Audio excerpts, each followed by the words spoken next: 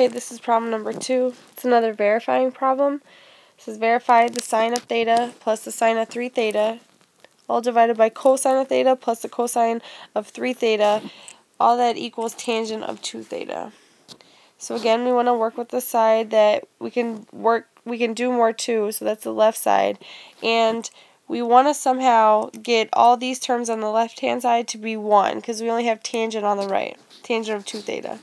So how can we combine the numerator and the denominator into one term? We're going to work with the sum to product formula.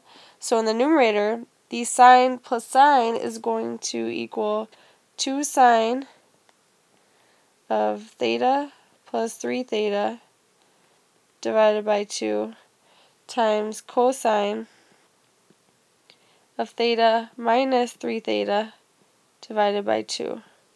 That's all going to be divided by the cosine plus cosine sum to product formula is 2 cosine theta plus 3 theta divided by 2 times cosine theta minus 3 theta divided by 2. And the next step is to do some simple algebra. We're going to add the theta plus 3 theta and divide it by 2. So we still have the 2 sine. That reduces to 2 theta times cosine of negative theta.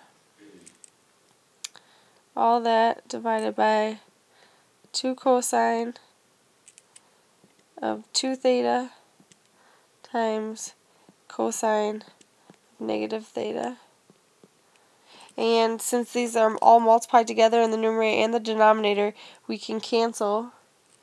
We have this in the numerator and the denominator, cosine of negative theta. And we also have this 2 out front, so we can get rid of that. So all that's left is sine of 2 theta divided by cosine of 2 theta.